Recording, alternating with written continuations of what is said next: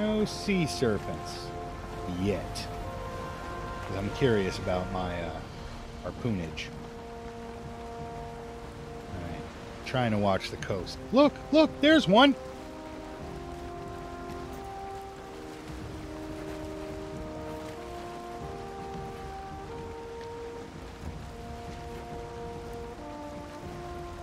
Can't tell if I've har- harpooned him or not. Where'd he go? Come on, stupid. I certainly can't see with that in the way. I think I made him mad. He's been harpooned! Ha ha! So that, I don't know what that does. Oh, he's been released now.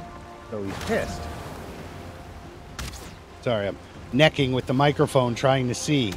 Like turning my head is going to make a massive difference. Yo, my ship. Hold up. I'm sailing right next to the shore. Where is he?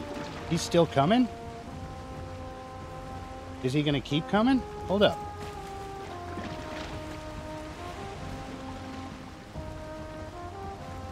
Can I tow him? Whoa. We're gonna wreck. I check it out. Oh, no way. No, don't get released. I towed him up to shore though. Look at this. And he's just standing there. Well, floating there. Don't go. Don't go. Oh, so that's what the harpoon is for. Yeah, yeah.